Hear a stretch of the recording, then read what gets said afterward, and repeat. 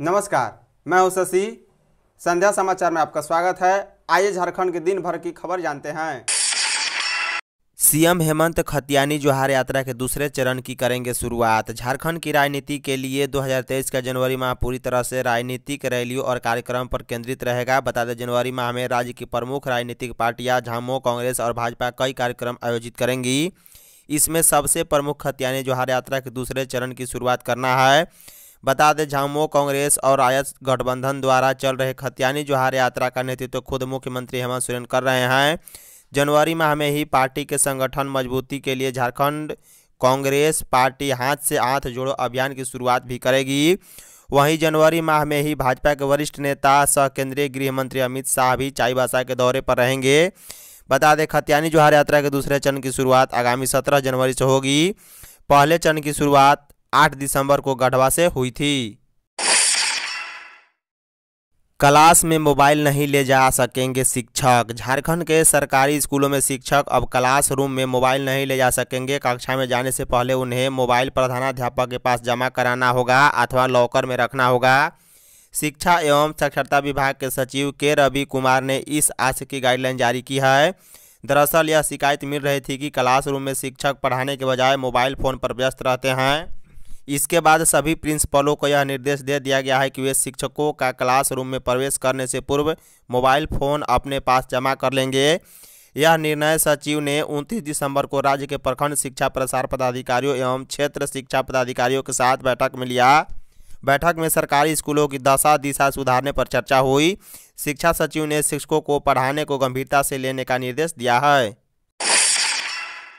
Ration card धारकों को अब एक साल मिलेगा मुफ़्त अनाज। केंद्र सरकार ने नेशनल फ़ूड सिक्योरिटी एक्ट के लाभार्थियों को बड़ी राहत दी है। अब राशन कार्ड धारकों को हर महीने सरकार की ओर से दिए जाने वाला अनाज मुफ़्त मिलेगा। सरकार एक साल तक प्रति व्यक्ति पाँच किलो अनाज, गेहूँ और चावल मिलाकर मुफ़्त उपलब्ध कराएगी। फ्री में अनाज वितरण की यह योजना दिसंबर 2023 तक लागू रहेगी, जिससे पीडीएस के तहत आने वाले लाभार्थियों को फ़ायदा होगा। केंद्र ने कोरोना के कारण प्रधानमंत्री गरीब कल्याण अन्न योजना को शुरुआत किया था। इस योजना के तहत लाभुकों को फ्री में अनाज देने का प्रावधान था। अब इस योजना को बंद करने के बाद एनएफएसए के तहत मिलने वाले अनाज को एक साल तक के लिए फ्री कर दिया गया है। बता दें, जनवरी से ये योजना लागू कर दी गई है।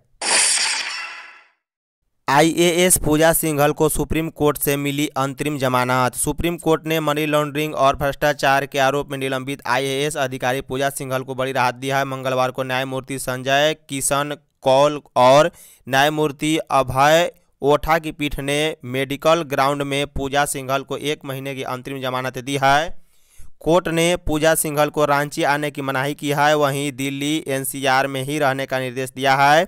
पीठ ने पूजा सिंघल की मुख्य जमानत याचिका पर प्रवर्तन निदेशालय को तीन सप्ताह में जवाब देने के निर्देश भी दिए हैं।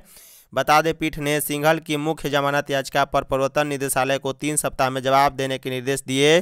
धन शोधन निरोधी जाँच एजेंसी की ओर से पेश अतिरिक्त solicitor general S V Raju ने कहा है कि याचिका में अशुद्धियाँ हैं और उसमें कोई दम नहीं है।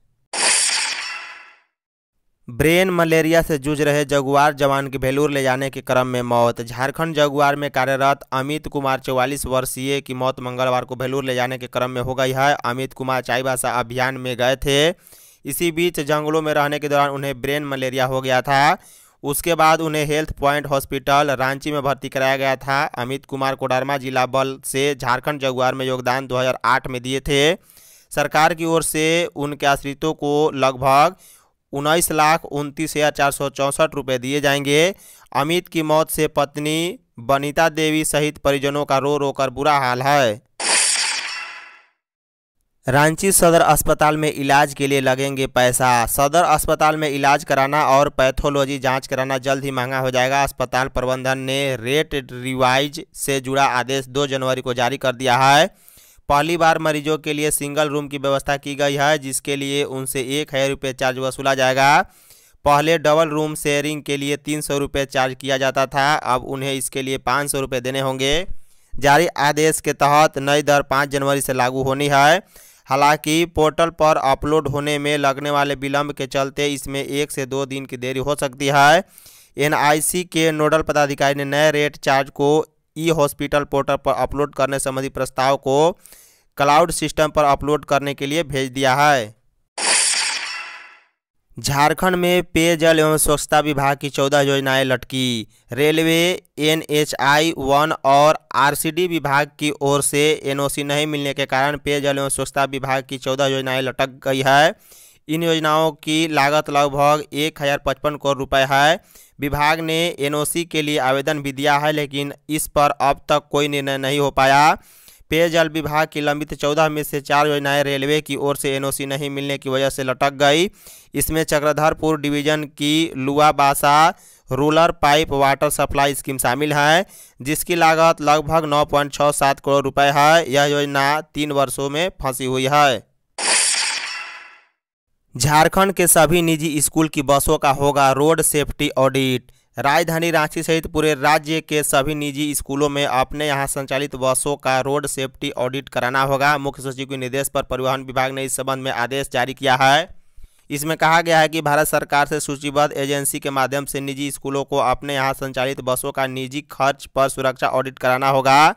इसके बाद इससे संबंधित रिपोर्ट स्कूली शिक्षा एवं साक्षरता विभाग द्वारा परिवहन विभाग को उपलब्ध कराया जाएगा। झारखंड माध्यमिक शिक्षक संघ का चुनाव 6 जनवरी को। झारखंड माध्यमिक शिक्षक संघ के प्रखंड स्तरीय संगठनिक चुनाव को लेकर सुबुघाट तेज हो गई है अध्यक्ष, उपाध्यक्ष, सचिव और कोषाध्यक्ष के पद के लिए 6 जनवरी को चुनाव होगा। संघ ने चुनाव की तैयारी शुरू कर दी गई है। वहीं दूसरी और विभिन्न पदों में अपनी किस्मत आजमाने को लेकर शिक्षक, शिक्षिकाओं भी अपने अपने स्तर से तैयारी कर रहे हैं। बता दें छः जनवरी को प्लस टू उच्च विद्यालय डोरंडा राज धनवार में चुनाव होगा। इसमें प्रखंड में अवस्थित सभी सरकारी एवं अल्पसंख्यक उच्च विद्यालय के शिक्षक एवं शिक्षकेतर मतदान करेंगे।